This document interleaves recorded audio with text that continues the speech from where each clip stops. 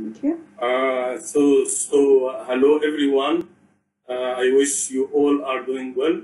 Uh, today we are going to talk about a very important subject actually in the seismic uh, exploration method, uh, which is the seismic data processing. Actually, we will spend uh, around an hour, so it's an overview. Seismic data processing is a rich and wide subject in the seismic, and we can you can read books actually seismic data processing. So I'll try to simplify as much as I can. Uh, I'll give you a quick introduction, uh, and then uh, I will give you uh, uh, uh, talk about the definitions and principles. Uh, then I will identify to you the signal and noise, uh, followed by the seismic processing flow, either pre-stack, post-stack.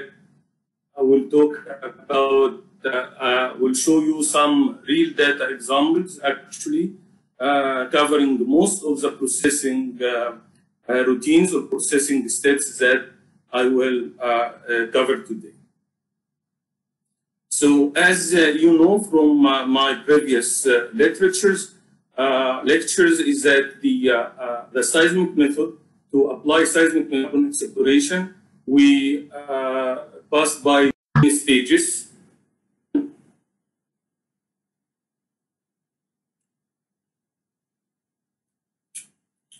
Uh, these stages are uh, the seismic data acquisition, and the seismic data processing and seismic data interpretation. And today we are going to talk about uh, seismic data processing.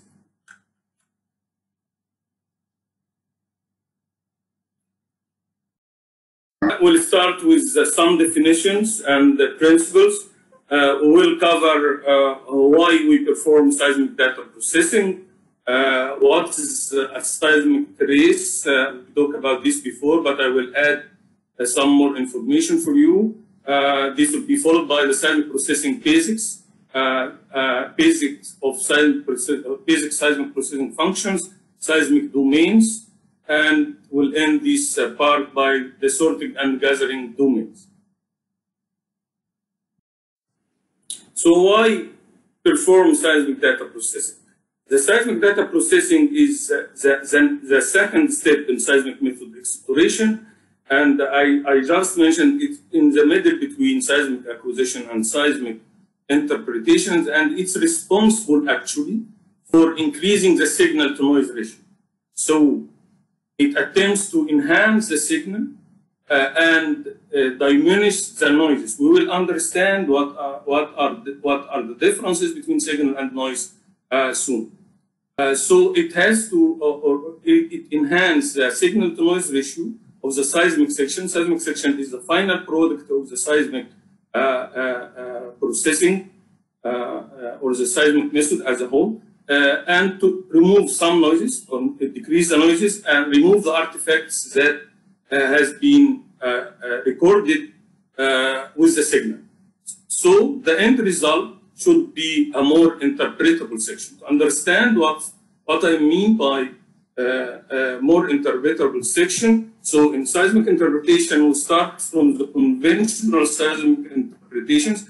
As, as, as you see here, you see uh, these are two different uh, uh, uh, vertical seismic sections, uh, and it have interpretation. So you have, you see different layers with different colors here, and you have faults. This is what we call the stratigraphic and the structural interpretations, or this is the conventional type actually of seismic uh, interpretation.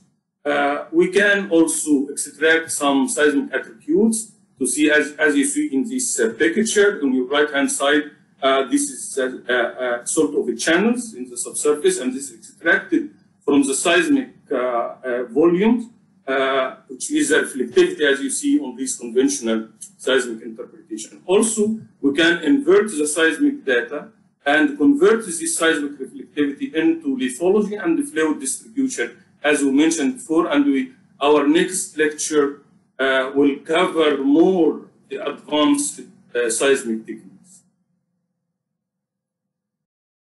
So what is a seismic trace? Uh, as I mentioned, we, we talk about this uh, twice actually in the, in, in, the introduction and in seismic data acquisition, but I want to add to you and remind you with what is a seismic trace. So if I'm acquiring seismic data uh, with a split spread uh, uh, design as you, as you see, so I have the source in the middle and I have several receivers on both sides of, of the source. Uh, this source, the, the nearest receiver uh, distance, we call it the near offset, and the farthest receiver distance, we call it the far offset, and in, in this split spread, it is in both sides. Uh, so if I have this geologic section in the subsurface, so I have, as you see, four different uh, uh, geologic units, uh, you can see the different velocities. V means the velocity of sound within this lithology. So you have different velocities and you have different thicknesses, actually, as you see. So as I have four uh, successive rock units, I will end up with three interfaces, interface A, B, and C. So let's see what happened when we acquired this data. So uh, I, the, for the first interface, I will have uh, receive, I will receive reflections from it, as you see, like this in the red color. Uh, and from the second reflector, you we will receive uh, another reflection, and so on from the third one. And as this is split spread, you will have this recorded on the other uh, side from the source.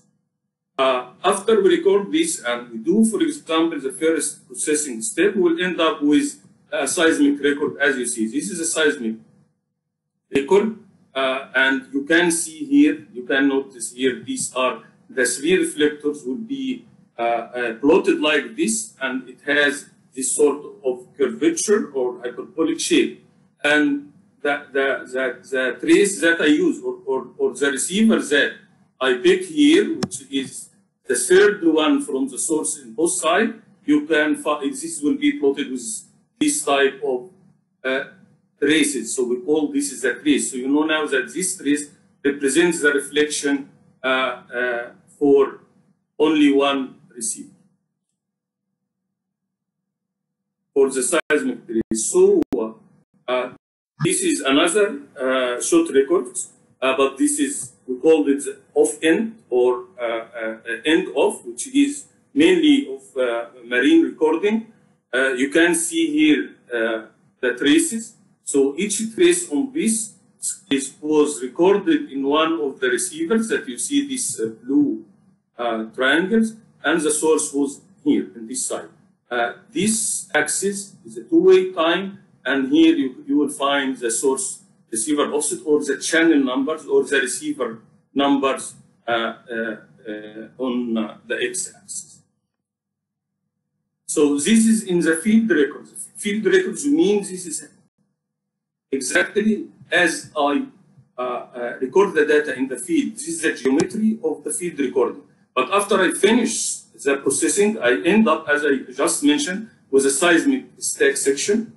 And this seismic section also have traces, it's built up of traces, trace beside trace beside trace. But, but the trace here is generated after uh, the, the, the last step in the processing, which we call the stacking, and for and and this stacking give me this trace as if I record the trace on the field where the source and receiver were on top of each other. We'll understand how this comes. Okay, but this is this is called the trace if it is in the records or the field records or at least in the seismic section itself. So what are the basics of seismic So what are the basics of seismic processing? So we mentioned before that seismic processing is, is responsible, or, or the meaning was like this, is responsible for purifying seismic data from all noises, and noises are the unwanted energy. Okay, and increase the signal to noise ratio. Signal is the wanted energy. Which energy, what energy you are talking about is the sound energy. And which sound energy? The sound energy that we send from the surface, from the source of the rock, as we mentioned before.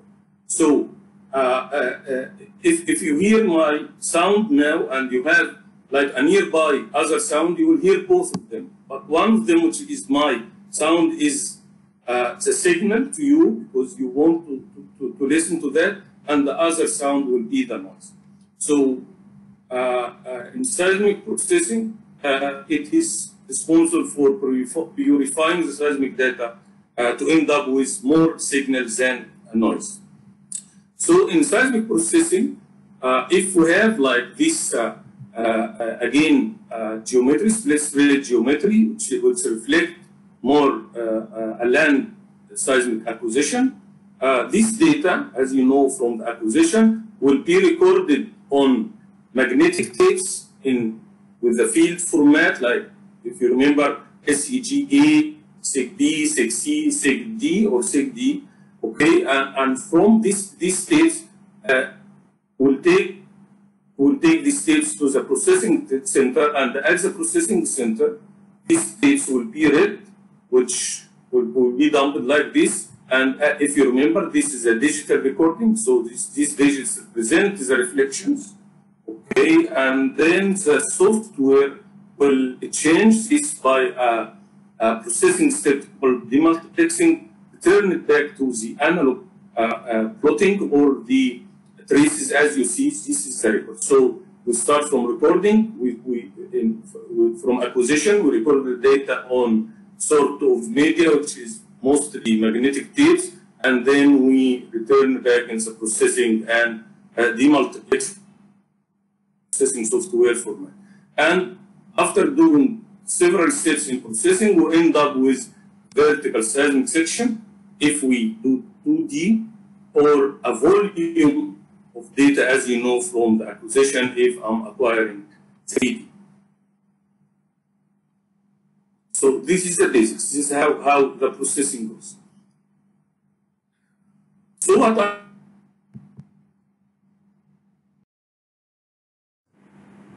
So four main functions for the seismic data processing.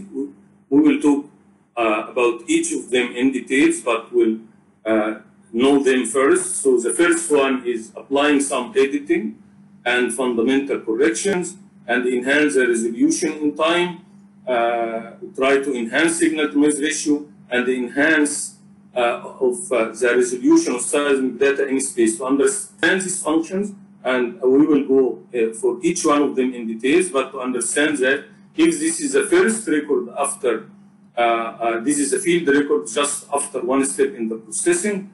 Uh, if we try to edit, to make editing and some corrections, we will apply a step called gain recovery. We'll talk about it in details. So this data is before the gain recovery. Is, you find it after gain recovery. So before, before gain recovery, you can see the reflections clearly but after we apply one step, which is one of the fundamental corrections, which is again recovery, we start to see some reflections in the data.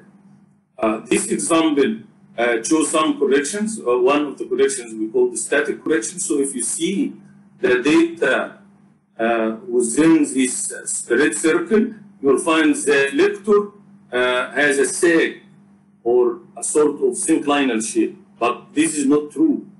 But after corrections, this is how it looks. It, there is no any synclinal shape, but, but from where this comes, we'll understand when we talk on the step of static corrections. Also further to that, we'll have some enhancement in the resolution in time. You see that the reflectors now uh, appear more clearly, in which we apply a step called deconvolution. Uh, again, we will talk about this in more details. And then we try to enhance the signal to noise ratio. If you see this is part of the vertical seismic section, you see a lot of hashers. You, you can see some reflections, but they are not continuous. You cannot follow it across the whole section. But when we increase the signal to noise ratio, you see how clear is the section uh, uh, to enhance the, the data in the space, we use what we call the migration. So if we take a look on this sort of reflectors, you have four reflectors here, and they they have what we call tie. Uh, we don't have this shape in geology, so this is something related to uh, the, the seismic data acquisition. It needs to be corrected. When we correct this or enhance the data in space, it looks like like this. So here it is a syncline. It's a syncline, geologic syncline. Okay, it will appear uh, like these bow ties in, in, in the uncorrected or in the time seismic.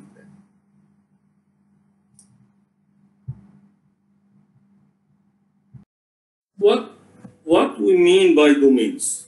Um, to simplify uh, this domain, if, if you think about uh, water, so when we drink water, we, we drink water as a liquid, okay? But you can change the status of the water from liquid state into solid state by freezing, and you have ice. Okay, and you can change the water from liquid state into vapor state or gaseous state when you boil it and it converts into vapor. So all are water. Okay, but you can see you can find the water or convert the water from state to state. This is state in, in, in seismic we call the domain.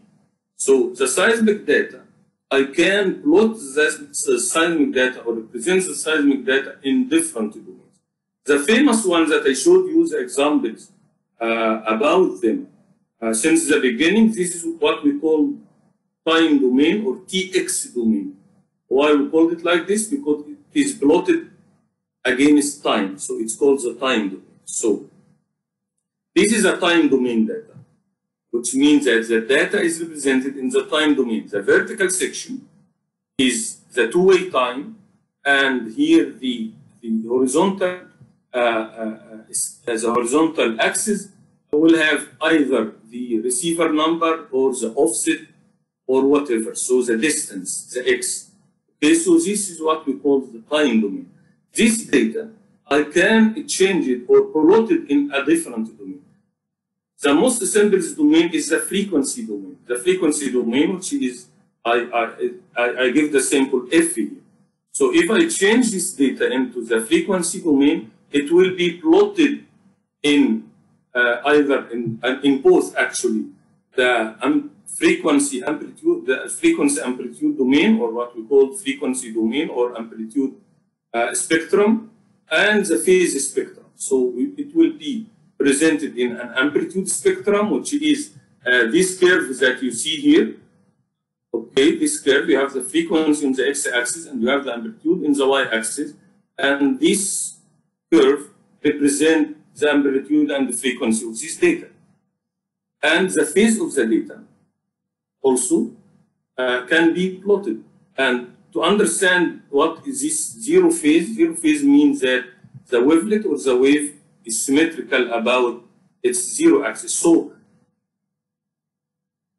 this is the data. This what you see here in plots in curves are the data that you see it in the time domain. So this domain we call it the frequency domain. How I can go to the frequency domain?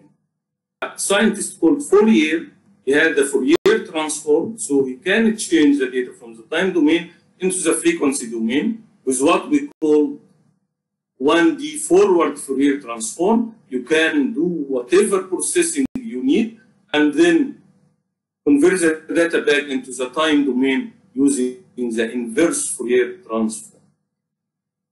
So this is, remember, a 1D Fourier transform or a 1D frequency domain.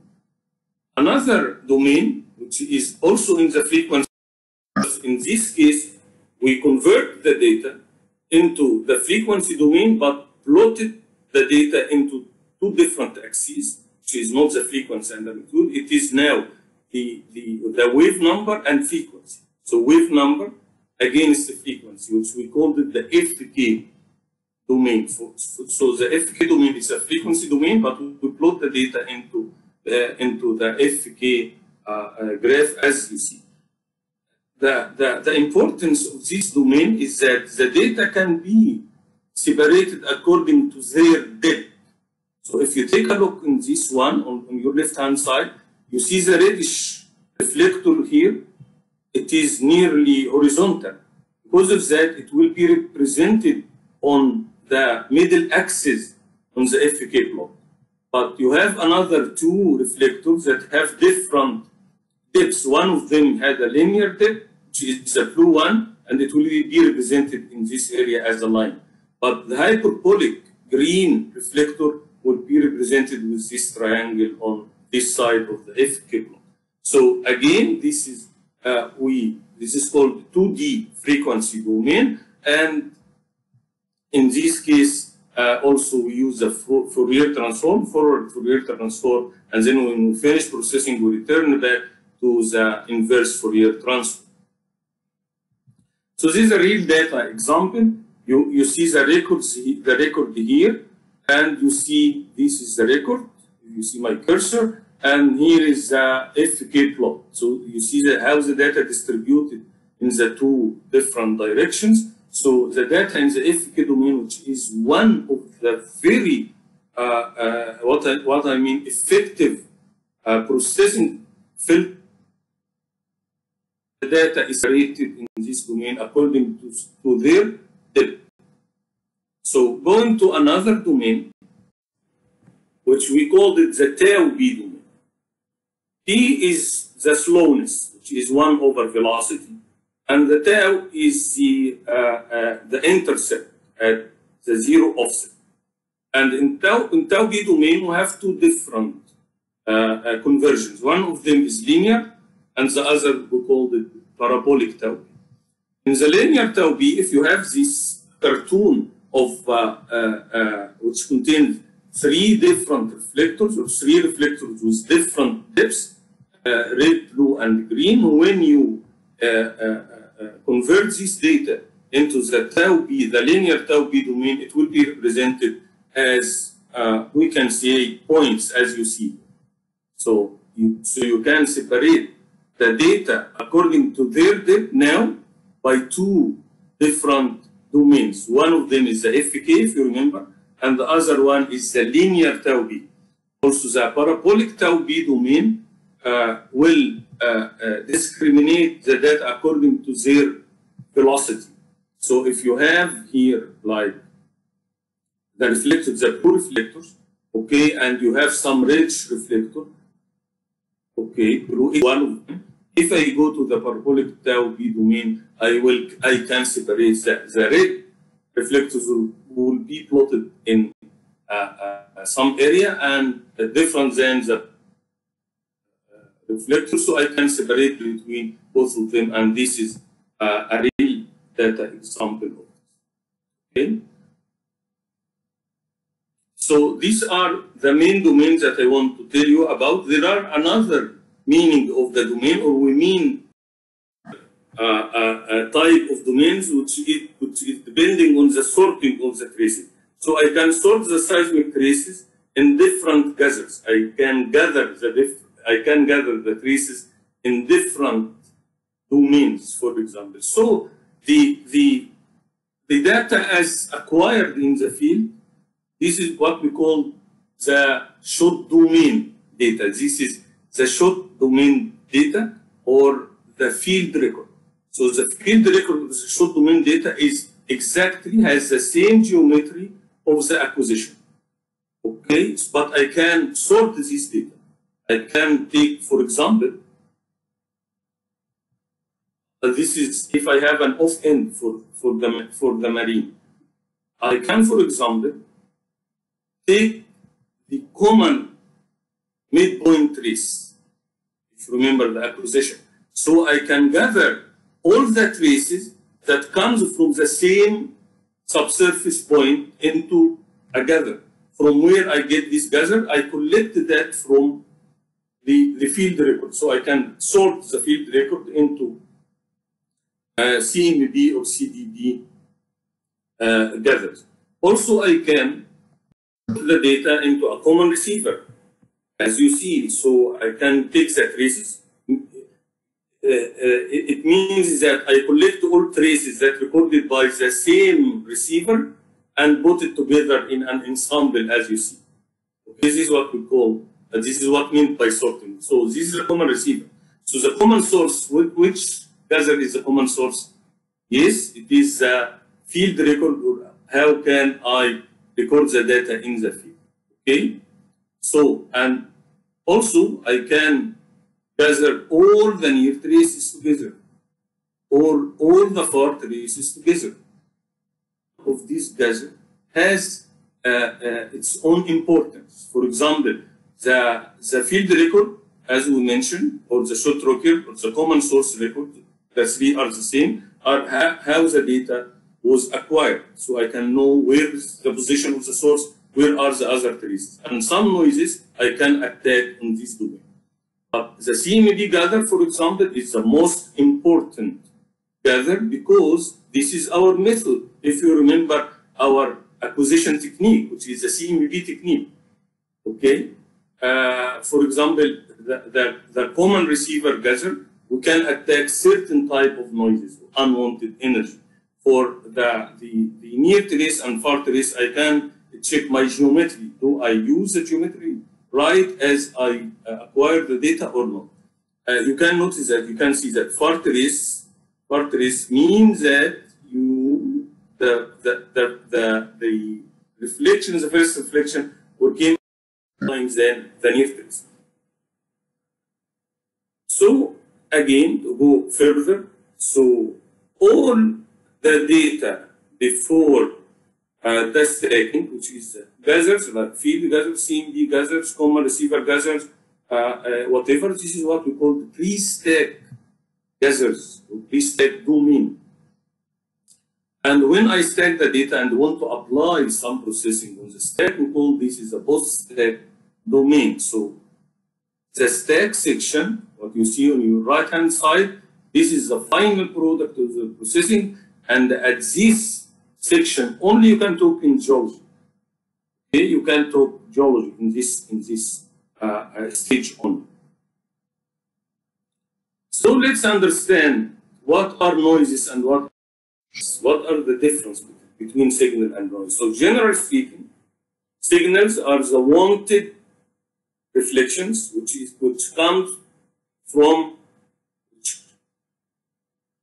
are coming from the reflectors, the geology, which reflect geology. This is a signal. This is these are the wanted energies. Unwanted energy is anything other than that. Okay, so we'll we'll we'll cover the noises, the type of noises to see the difference between signal and noises. Uh, we'll talk about uh, the coherent and random noises. We'll give examples about the swell noise, I will talk about the multiples, we'll talk about how noising affect testing.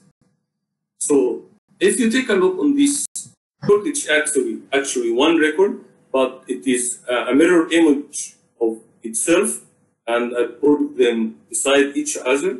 Please take few seconds and try to figure out where are the signals and where are the noise. Okay, so if, if you take a look, you will find different dipping reflectors. Okay, so it's nearly flat reflectors which has a shape. These are the uh, uh, signal, the major reflectors. But you can have refractions in the in the shallowest part. You can see the air wave. For example, you can see the ground roll. So all of these are noises. We understand what mean by each of them. Now I can get rid of each of them. So uh, this is how the noise looks and, and the data, or signal versus noise. So understand what's coherent and random noise, to understand what you hear in the industry. So the coherent noise are, are those unwanted seismic energy that shows uh, uh, the, the same phase of the data. So it is found with the data itself. Okay, so it, it have it have consistent phase with that from trace to trace. So it, it is with you like the data. You can see it everywhere. For example, a type of noise uh, we call the ground roll, uh, type of uh, we call the multiples, which is one of the, the very dangerous type of noise, and the airwaves. The other type of noises is random, and from its name, it doesn't have like a certain shape or or or uh, it's it's not in phase with the data, and it is simply can we can get rid of it uh, by very simple processing steps. From where this random noise came? It came from the activities while we acquiring uh, the seismic data. So let's see some examples.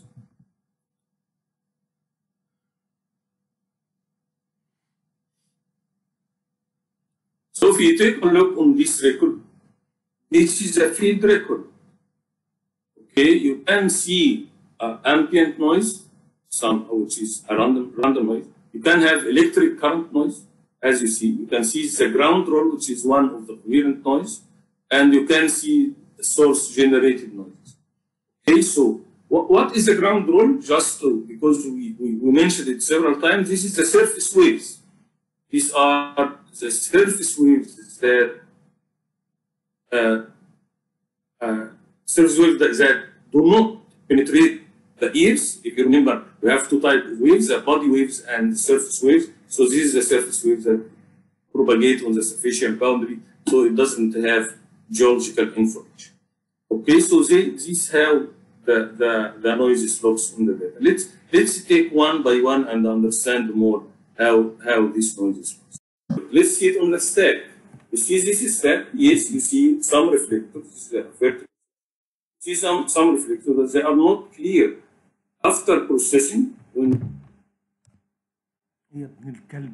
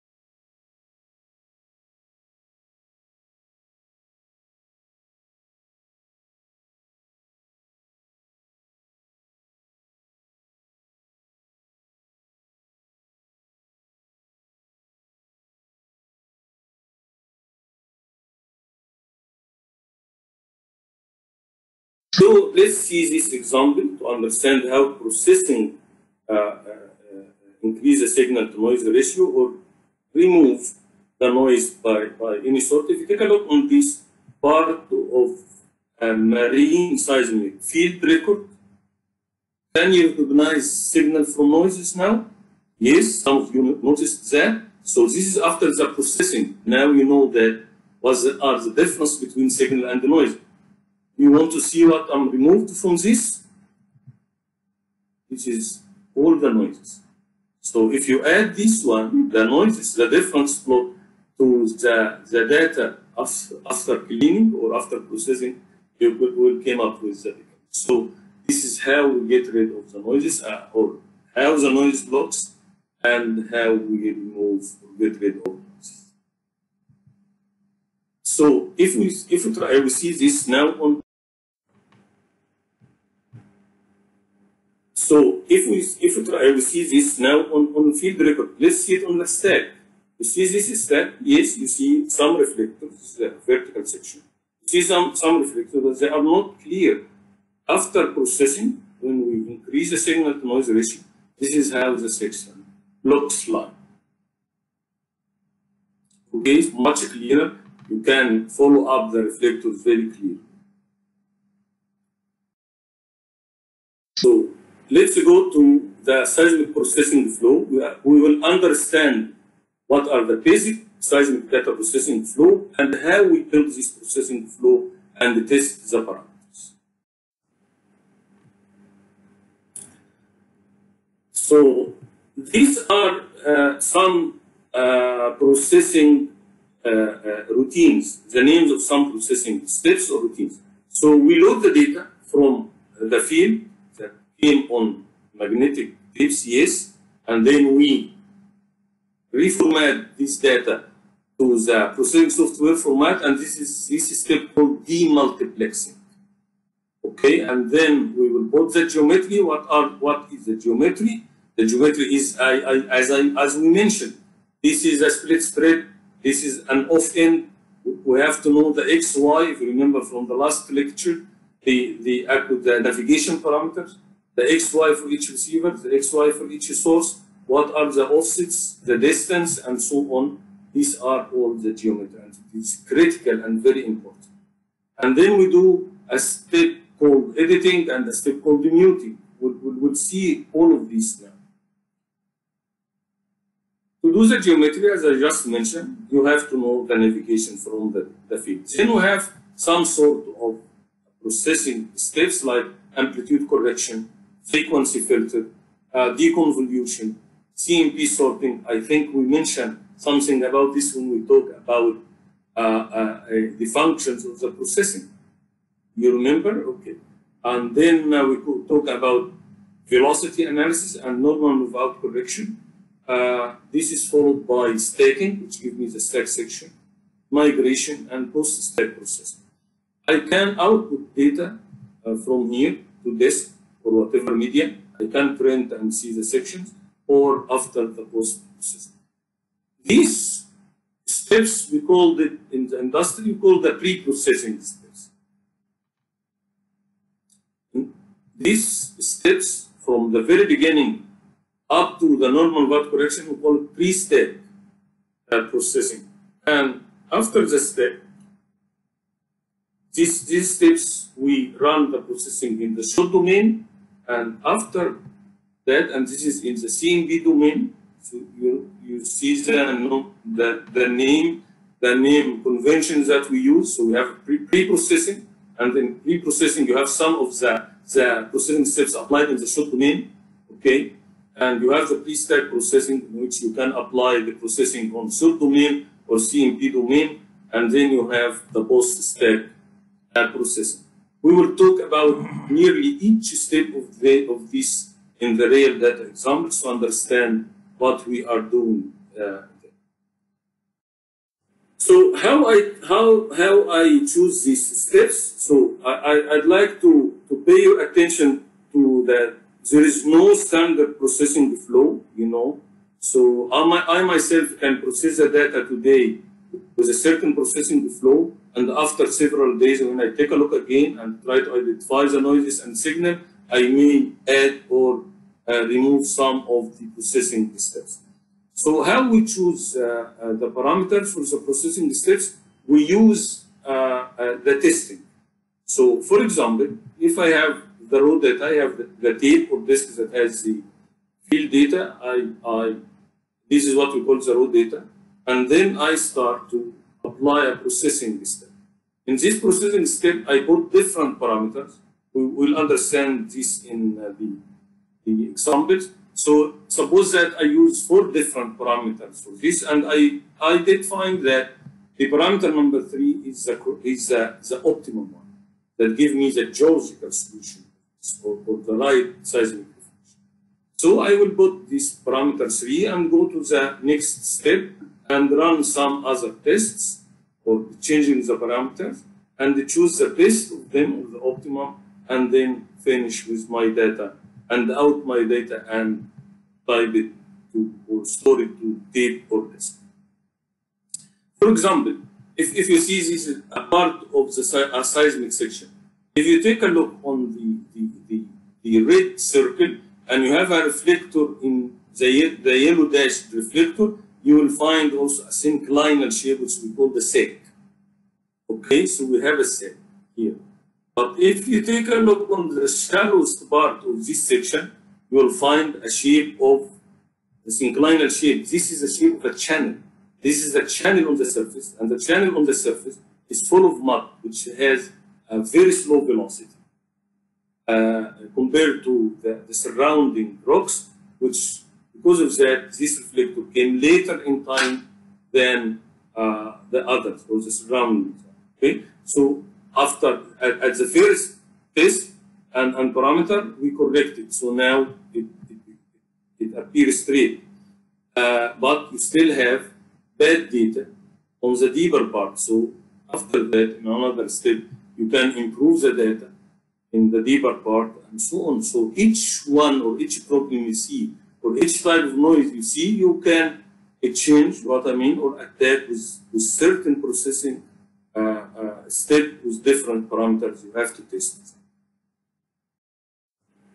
So let's end our uh, uh, session with a real data example to understand what we were talking about uh, uh, now. So we'll give examples of demultiplexing, the trace editing, trace muting, the geometry, the static corrections, amplitude corrections, frequency filtering, deconvolution, spatial filtering, uh, the multiple attenuation, the normal void correction, and the seismic data migration. So the multiplexing, as I mentioned several times today, is changing the data from the field uh, digital format into the processing software format. So again, if you remember this picture, these are the, the tapes uh, that uh, contains the reflections that or the acquisition of the data we have we acquired or recorded in the field. Different types. Part of them are very old media and part of them are recent.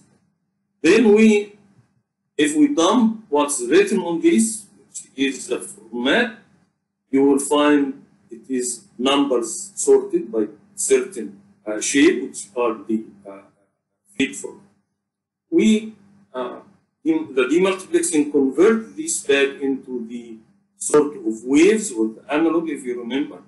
Okay, and it gives me the sort of field record as as you see here. So now let let let, let you check yourself what what you see.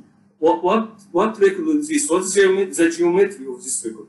How this record were acquired in the field? Does it off end or split spread? Where is the source position? Where are the, the different receivers? So this is a split spread single record. Okay, the source was here in the middle. Okay, so this is mostly land acquisition. Okay, mostly. So now I have the data. I plotted in which domain this is this.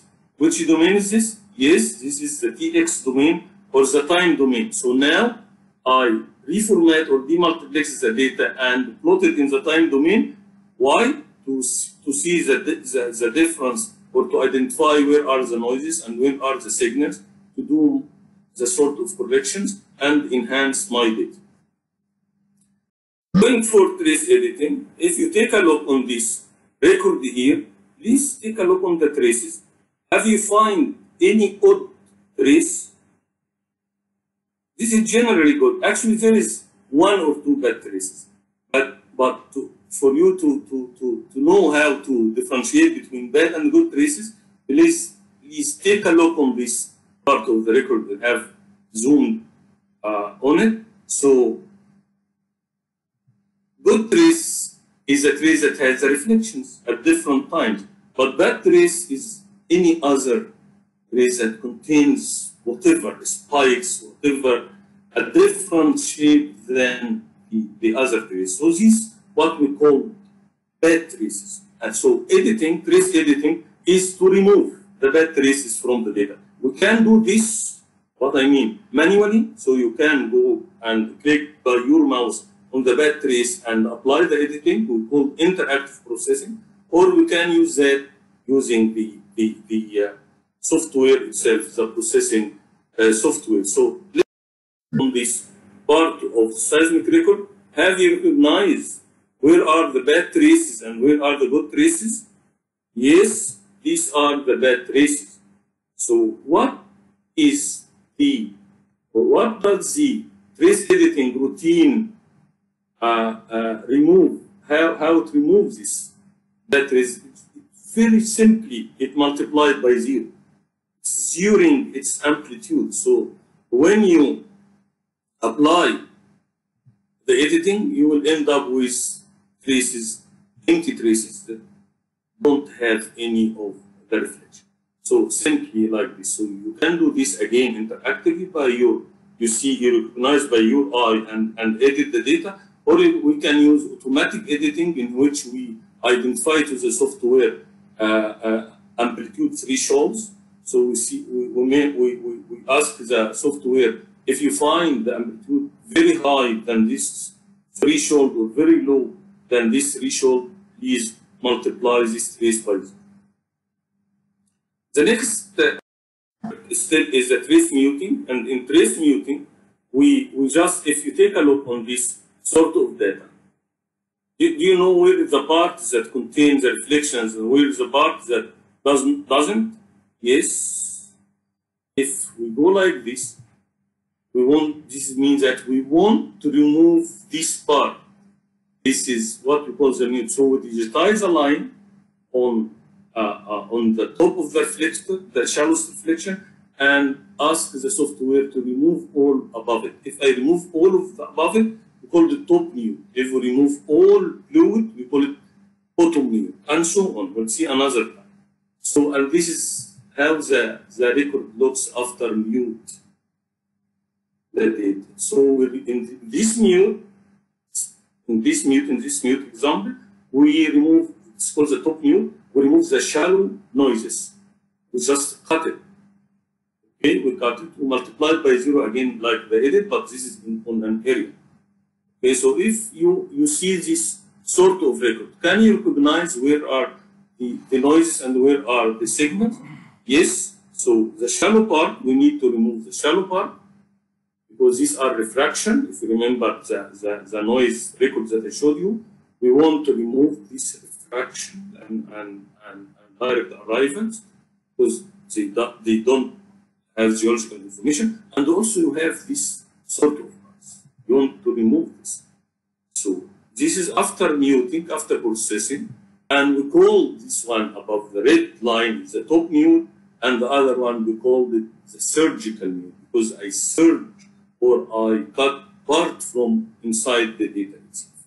So this is how the work very simple. In the geometry, very simply, you have you have to collect from navigation all uh, all uh, the, the information like again the XY, the elevation, the distance from the source, and all of these were written in sheets or digitally as we mentioned before, and if, if I zoom on this, you will see that the trace number uh, so its offset is whatever, the x offset is so, the azimuth was so and so on. So these are the navigations that we use, and the geometry is very important to be able to sort the data in different domains. So to sort the data in different domains, you should have the correct geometry. And the most important sort is the CMP gathering, if you will. Then we'll come to type of correction, which called the static corrections. And static corrections, we apply the static corrections for one or the four reasons that I will mention. If I have difference in elevations between the receivers, if I have a weathering layer, you know that the rocks when it uh, exposed to the surface, it, uh, it withered. So uh, I uh, uh, so we have we'll have a weathering layer, and this weathering layer has thickness and also has uh, a velocity affecting the velocity of the sound waves within this layer.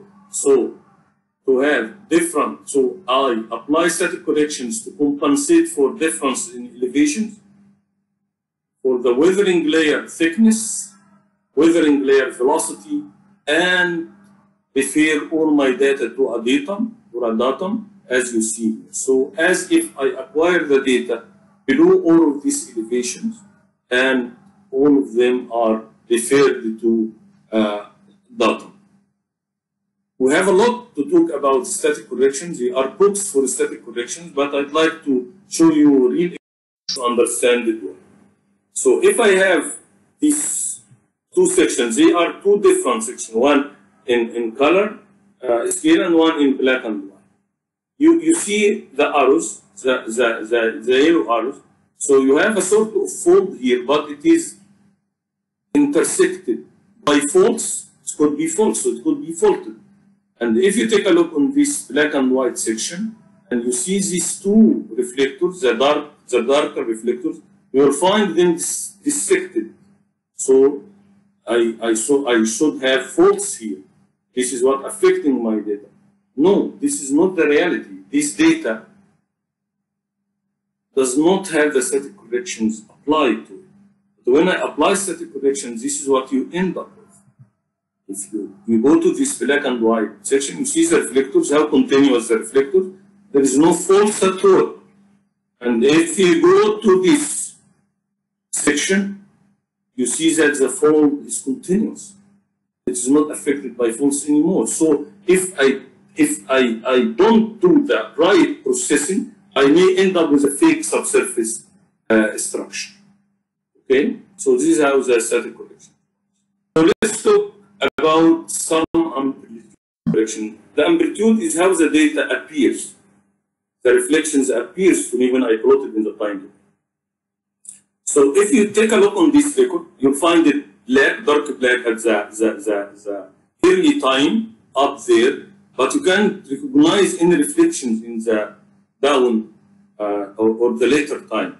When we do a, a, a gain correction, we redistribute the data. We know why the, the, the energy decays, what are the reasons for the energy to be decayed away from the source. There are different reasons.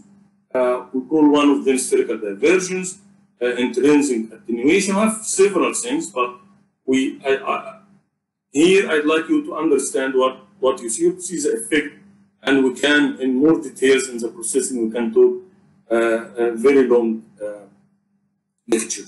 So here the, the, the reflectors appears. We do corrections here. Any step I called it correction is a processing flow, so it is mandatory to apply. Mandatory to apply. Any step called correction, it is a mandatory to be applied in the processing flow. So this is the gain correction, or sometimes you, you hear there's a spherical divergent correction. We have another uh, amplitude uh, correction we call the automatic gain control, but automatic gain control is artificial. I, I calculate the amplitude differences from the data itself. So if you have this sort of uh, off-end record or marine record, you see that the reflectors are darker on the, in the early at the early time and faint here. You can see in reflectors. When we use this AGC automatic gain control, you start to see reflectors here. You can change that. You can even improve that more. You can see it like this. You can see it like this. Here is the parameters when we took. You, you remember that the parameters I took in the test. So here is uh, the different parameter or the window of calculating the correction amplitude. Okay, so uh, if uh, uh, the window is decreased, you will see you will end up with a very, very uh, hot appearance of the data. But you see that this shallow part, okay, again, which is not data, it's noises, also appear uh, strongly. How can you remove this? Yes, with the top mute. Okay. So let's talk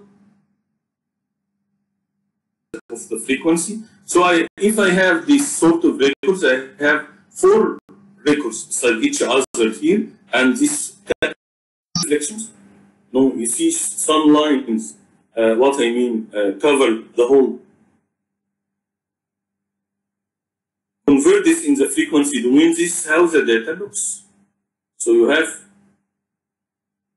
part uh, with the reflection.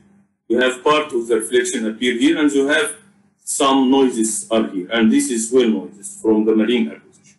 So after you correct that, this is the, the, the frequency that I need. So I remove the other and return back to the time domain or the TX domain, and this is how the data. Believe me or not, but but this is reality. This is real data.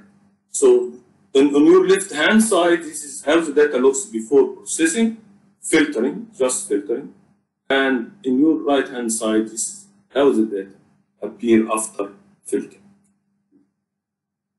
Going through the deconvolution, which we what what we use the deconvolution, what are the function? Yes, it's enhancing the data in time.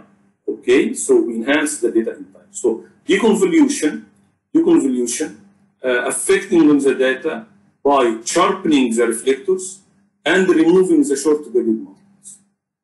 Okay, so two two functions for, for deconvolution. Uh, one of them we call the spiking deconvolution, which sharpens the reflectors, and the other one is a predictive deconvolution, which removes the short period multiples. So is type yes from the noise. So if you take a look on this uh, seismic section, the seismic section looks uh, very good. We have a lot of reflectors. But how about the shallow part? Okay, if I apply deconvolution, you see the result. Continuous reflectors, very sharp and clear appear for, for, for my eyes, and also the shallow section much better. So you increase the signal to noise ratio.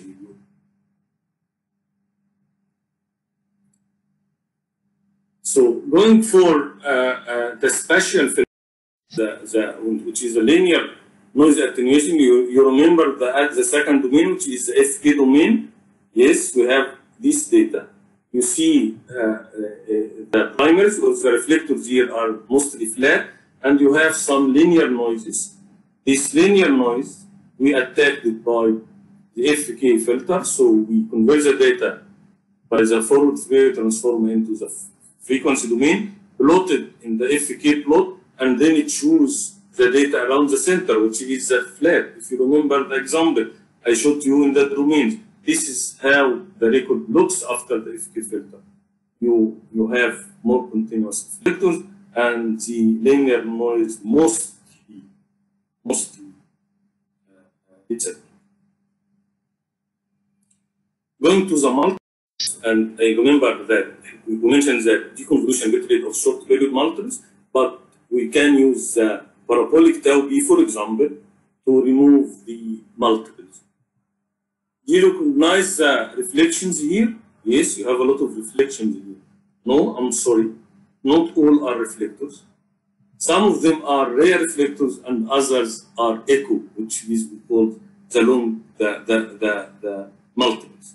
So you see this is water bottom, it's repeated several times. When you apply the multiple attenuation processing step, you remove most of these uh, reflectors. Don't worry, they, they are not reflectors. They are fake reflectors came from the echo, or this is what we call the uh, uh, multiples. We go to the technique of our data, which is we gather the data into the CMP domain to gather them, to stack them. This is a technique, if you remember.